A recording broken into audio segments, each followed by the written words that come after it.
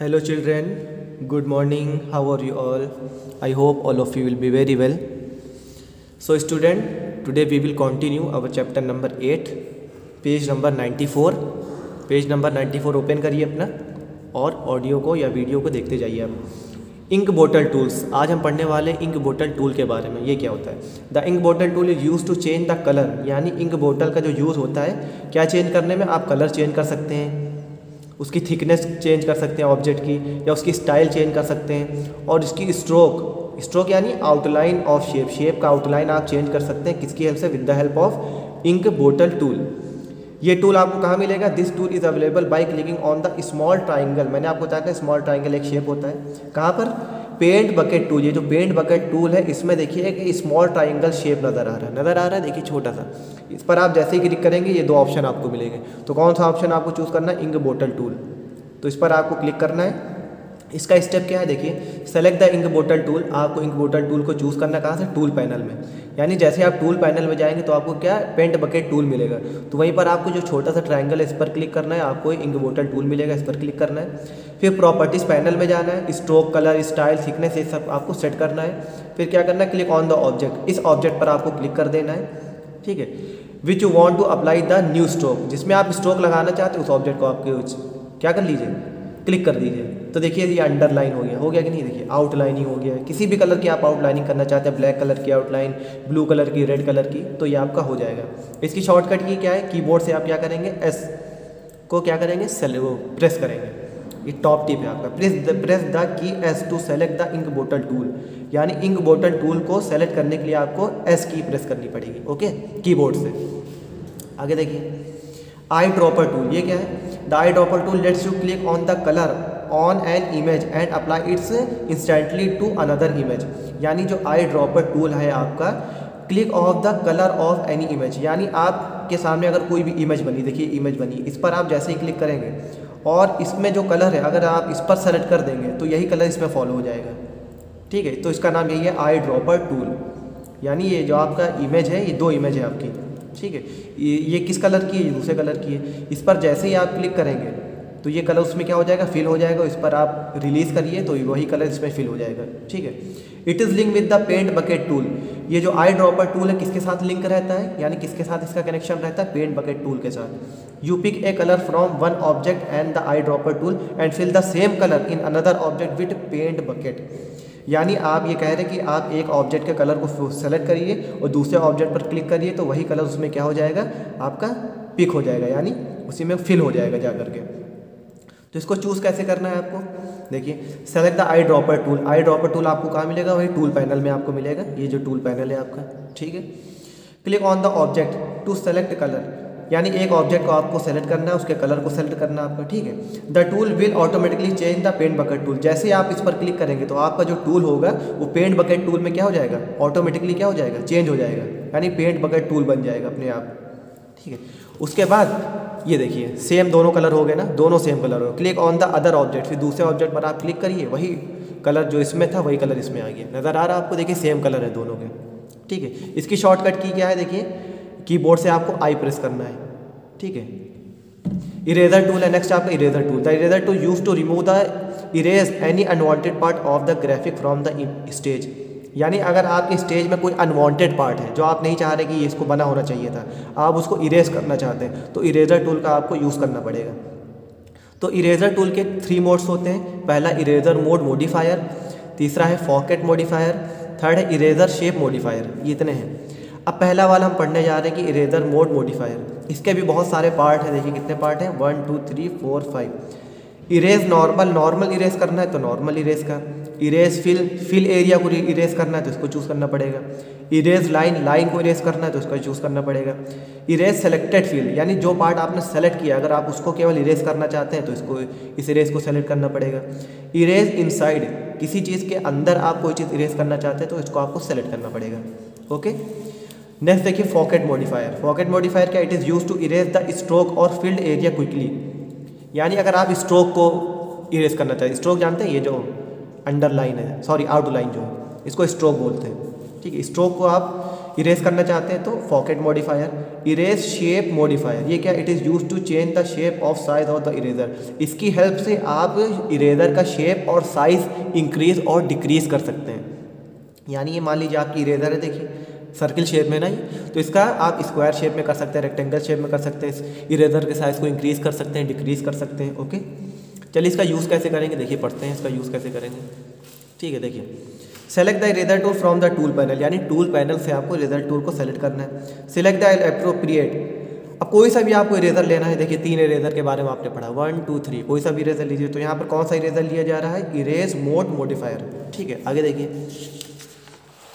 After that select the eraser shape modifier ठीक, फिर उसके बाद erase shape modifier and select the shape and size of the eraser फिर उसके बाद आपको दूसरा इरेजर शेप लेना है, यानी इसको लेना है आपको इरेजर शेप मोडिफायर इसको लेना है आपको। और इरेजर के शाप शेप को आपको क्या कर देना उसके साइज़ को इंक्रीज़ कर देना है, ठीक है? और इसके शेप को चेंज कर देना है ओके उसके बाद क्या कर देना आप उसको ड्रैग करके स्टेज पर ले आना है, जिस पार्ट को आप इरेज करना चाहते हो, उसको इरेज कर दीजिए। टॉप टिप क्या है इसकी? शॉर्टकट की क्या है? कीबोर्ड से आपको ई प्रेस करना है इरेजर टूल को लेने के लिए। ठीक है? आगे देखिए to quickly remove the everything from the stage अगर आप चाहते हैं कि जल्दी से स्टेज से सारी चीज़ें इरेज हो जाए तो आपको क्या करना पड़ेगा? इरेजर टूल पर डबल क्लिक करना पड़ेगा। इरेजर टूल पर डबल क्लिक करना पड़ेगा। और यहाँ ला करके इसको ड्रैग कर दिया, इकट्ठा डिलीट हो जाएगा। ठीक है? आगे देखिए। नेक्स्ट है आपका टेक्स्ट टूल नॉलेज बूस्टर कोई ज़्यादा इंपॉर्टेंट नहीं है आपके लिए। देखिए। टेक्स्ट टूल क्या है? The text tool is use to insert text on the stage अगर आप चाहते हैं कि आपके स्टेज पर आप कुछ लिख भी सकें, देखिए लिखा लिखा ना स्टार भाई स्टार तो आपने बना लिया, लेकिन इसका लिख भी दिया आपने, नाम किसका, नाम क्या है? स्टार है। तो इस, इसके लिए आपको टेक्स्ट टूल का यूज़ करना पड़ेगा। It allow you to add text in your drawing and animation आपने कोई एनिमेशन बनाई, कोई ड्राइंग बनाई, उसके बारे में आप कुछ लिखना चाह रहे हैं तो उसके लिए आपको टेक्स्ट टूल का यूज़ करना पड़ेगा। तो इसका यूज़ कैसे पढ़, करेंगे? आपको टूल पैनल में जाना पड़ेगा और टेक्स्ट टूल का यूज़ करना पड़ेगा। Select the text tool from the tool panel यानी टूल पैनल में जा करके आपको टेक्स्ट टूल लेना है। आफ्टर दैट उसकी प्रॉपर्टी पर जाना है।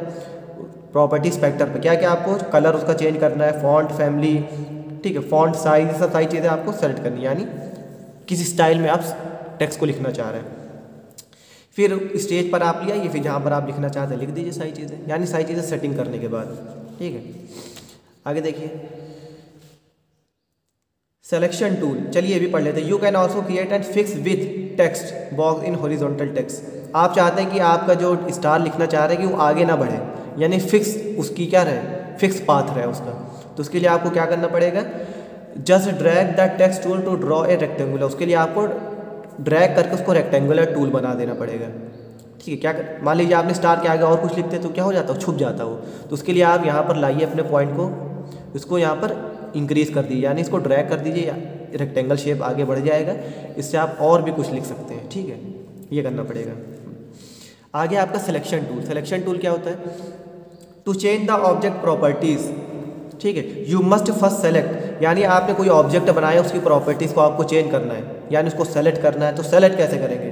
तो सिलेक्शन टूल की हेल्प से किसी भी इमेज के पार्ट को आप सेलेक्ट कर सकते हैं। यानी कोई इमेज आपकी यहाँ पर बनी है, उसके किसी पार्ट को आप सेलेक्ट करना चाहते हैं तो उसके लिए आपको सिलेक्शन टूल का सबसे पहले यूज़ करना पड़ेगा। तो देखिए अगर आपको एक लाइन सेलेक्ट करनी है या टेक्स्ट सेलेक्ट करना है तो उसके लिए क्या करना पड़ेगा आपको? सेलेक्ट द सिलेक्शन टूल पर आपको जाना पड़ेगा, फिर उस पोर्शन को क्या करना पड़ेगा? सेलेक्ट कर देना पड़ेगा। ठीक है? उसी तरह आप कनेक्टेड लाइन बहुत सारी लाइंस बनी हुई उसको आपको सेलेक्ट करना है तो वो भी सिलेक्शन टूल से आप क्या करेंगे? डबल क्लिक करके उसको सेलेक्ट कर लेंगे। ठीक है? Filled area and stroke of the shape shape के स्ट्रोक को और उसके फ़ील्ड एरिया को आपको सेलेक्ट करना है तो क्या करना है? Select the selection tool selection tool को आपको चूज़ करना पड़ेगा कहाँ से? टूल पैनल से.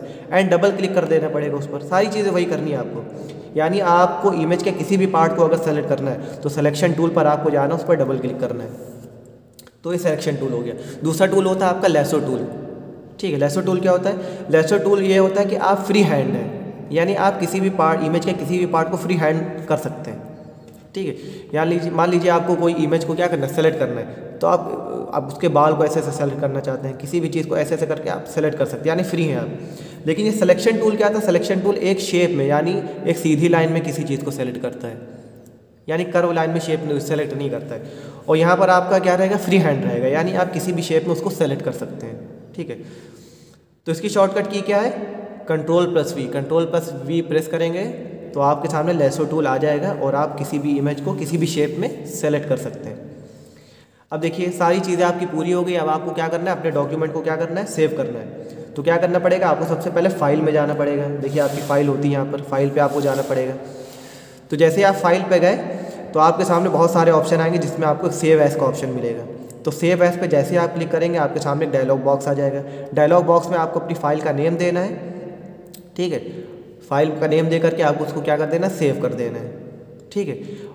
तो सेव कर दिया फिर आपने कट कर दिया। अब आप चाहते हैं कि आपने जो डॉक्यूमेंट बनाया है उसको फिर आप ओपन करना चाहते हैं। तो उसको ओपन करने के लिए फिर आपको फ़ाइल में जाना पड़ेगा। फ़ाइल में जाने के बाद आपको ओपन में जाना पड़ेगा। तो जैसे ही ओपन पे आप जाएँगे तो आपके सामने डायलॉग बॉक्स आएगा। डायलॉग बॉक्स में वो नाम दिया रहेगा जिस नाम से आपने से, सेव किया है। उस नेम को आप क्लिक करेंगे और क्लिक करके ओपन कर देंगे वो डॉक्यूमेंट आपका फिर से ओपन हो जाएगा। तो बच्चों, ये चैप्टर आज आपका फोर वीडियोज़ में क्लियर हुआ है।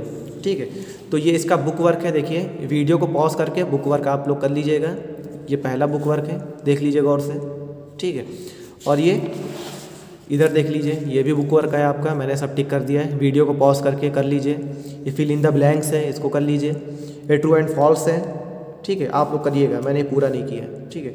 और बाकी ये क्वेश्चन आंसर मैं आपको करवाऊँगा। ठीक है? और ये भी आप लोग कर लीजिएगा लर्न विथ फन ये कौन सा टूल है, ये कौन सा टूल है, ये कैसा टूल है, ये कैसा टूल है, समझ करके आप इसको कर लीजिएगा। यानी ए बी सी और ये लर्न विथ फन ये आपको करना है और डी मैं आपको करवाऊँगा। Okay I hope all of you understand very well thank you very much.